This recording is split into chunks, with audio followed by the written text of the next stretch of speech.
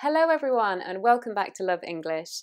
I'm Sabrah and today we're going to be looking at the beautiful Southern Irish accent, more specifically the Dublin accent. It's a beautiful accent, very sexy, consistently voted one of the sexiest accents that English can be spoken with. So it's a good one to know. We're going to be exploring it from the point of view of how the features change from standard Southern British and also if you want to learn how to do the accent this is going to be a great video for you. Now today we're looking at the Dublin accent specifically, but it's important to point out that there is a tremendous amount of variety even within a Dublin accent and the suburbs. However, this video will look at the key features which will apply to most of the accents in Dublin and around the suburbs. A few of the famous people that have this accent are Colin Farrell, Saoirse Ronan, Brendan Gleeson, Aidan Turner, my favourite. Beautiful accent, beautiful people. Right, let's get started.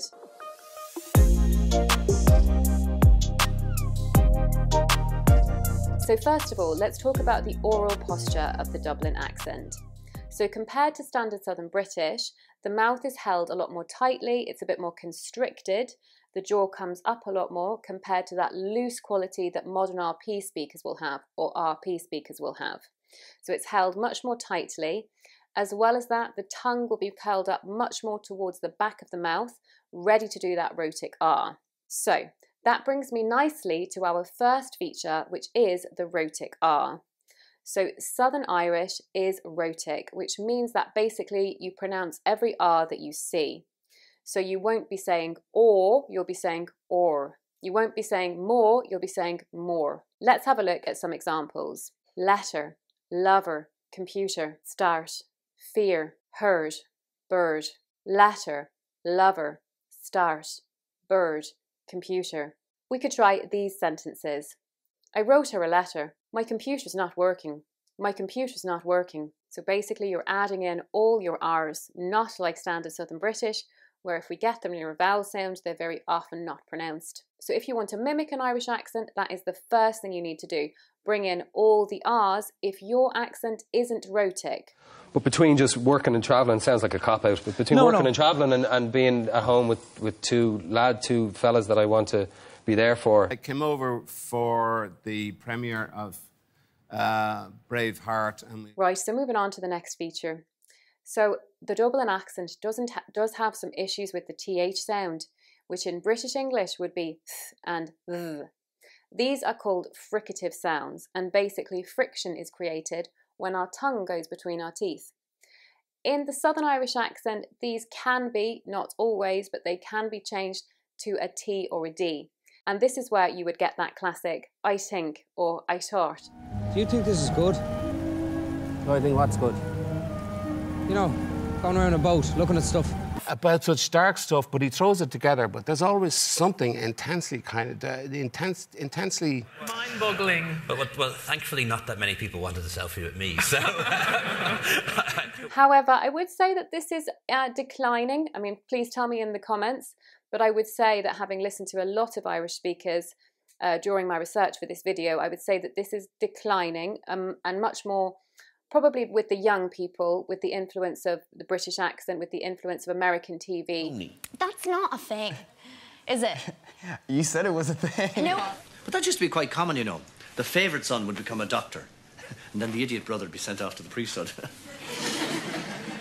Your brother's a doctor, isn't he? Yes. So the next feature we're going to look at is the T aspiration. And basically this means that T sounds will have more breath on them.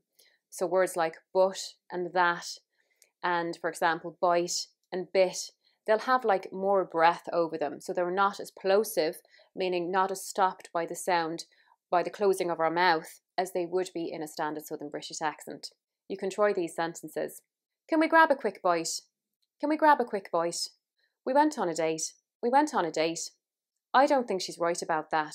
I don't think she's right about that. In relation to the human condition, for me, were fascinating when I read it. I just loved it. But it wasn't a page turner. Let me rephrase that. Is there anything you want to tell me about her? Right, turning to the vowel sounds here, the changes in the vowel sounds. I would say the one that always stands out to me and to um, non Irish speakers is the difference between the modern RP I and the Irish oi. So it's more of an oi sound, moving towards oi, like the oi in toy. So sometimes you'll just hear it a little bit, and other times it will sound very strong. Right, time, kite, fight, life, Ireland. Shall we fly the kite? Shall we fly the kite? I fancy a light bite. I fancy a light bite. Remember, if you're trying to do this accent, then practice these along with me. Kite, right, bite, life, fight. I, I mean, I love Ireland. I would like to live in other places as well. I mean, I love London and. Wrong. Yes, Dougal, wrong. You remember right and wrong, the difference between the two. Page one of How to Be a Catholic. The next one is the change in the long monothong ah, like in bath, palm, start, heart in standard Southern British. In a Dublin accent, this is moving much more towards an ah. Again, how much it moves depends on the strength of the accent.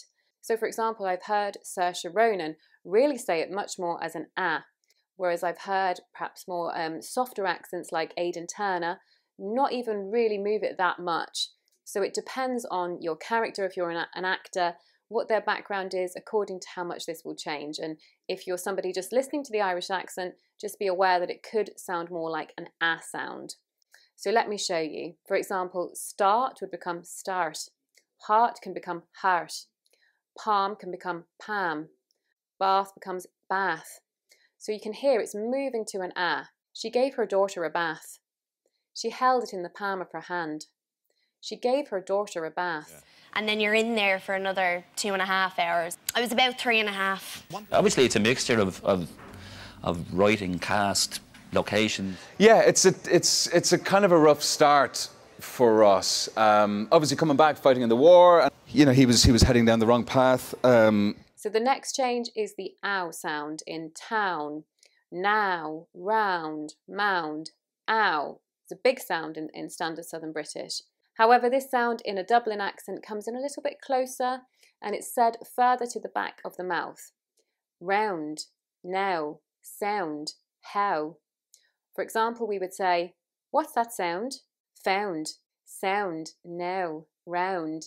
Let's have a look at a couple of examples. No good cow ever goes back onto the market. You're walking down a laneway at night and you've got your keys out because it's a mask of sorts. Yeah. yeah, it is. I mean, it came out of a lockdown sort of thing. It was there. Right, the last change we're going to be looking at today is the O sound. And basically, again, this is a subtle change, but it is moving backwards again to the back of the mouth. So we're not saying that long O sound, we're saying O. So, for example, in goat, boat, float, you're not saying oh like you would in standard Southern British. You're saying oh. It's a lot shorter, basically. Moat, goat, float, remote. So try a couple of these sentences with me. She bought a new coat. She bought a new coat. I need to get a loan. I need to get a loan. So try saying those along with me. I need to get a loan. She just bought a boat. It's a bit remote. There is one more feature that I didn't have time to mention earlier in the consonants. This is that the final G gets dropped. So in words where you've got an ing, we're not saying ung, we're just literally saying n, like in going, doing, talking. You're dropping that G sound. I was going out. I was going out. She was singing really nicely. She was singing really nicely. Right, everybody, thank you for watching. Please feel free to comment below and tell me just how much some of those vowel sounds change in your particular region of Southern Ireland or around Dublin. And as well as that, if you're interested in accent training, then please look in the description box below to find out more. Also, please tell me what accent would you like me to cover next? Tell me that in the comments below. We'll see you in the next video. Bye bye.